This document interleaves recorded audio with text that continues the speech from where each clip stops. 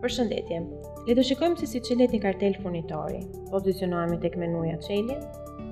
Furnitorët. Klikojmë butonin Shto.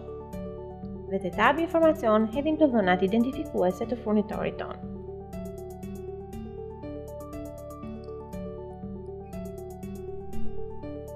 Lloji i kompanisë, NIPT-i.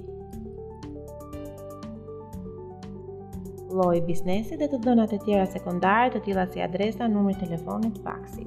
Kalojmë te tabi kontabiliteti. Këtu përcaktojmë përkatësinë në planin kontabël, duke zgjedhur një llogari të planit kontabël ose një llogari të detajuar e cila do të jetë e çelur më parë.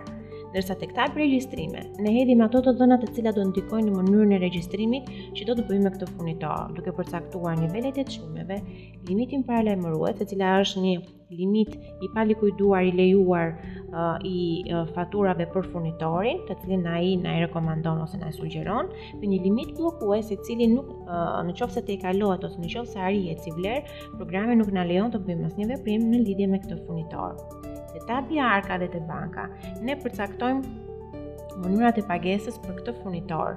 Së pari zgjedhim llojin e pagesës nëpërmjet arkës ose nëpërmjet bankës, duke klikuar te butoni me tre pika për të zgjedhur rastin e parë të arkës, duke hedhur të dhënat e arkës në lek ose në arkës në euro dhe në fund klikojmë butonin ruaj për të ruajtur dokumentin e sapo regjistruar ose butonin klono për të regjistruar një furnitor tjetër të ngjashëm me këtë që sapo regjistruam.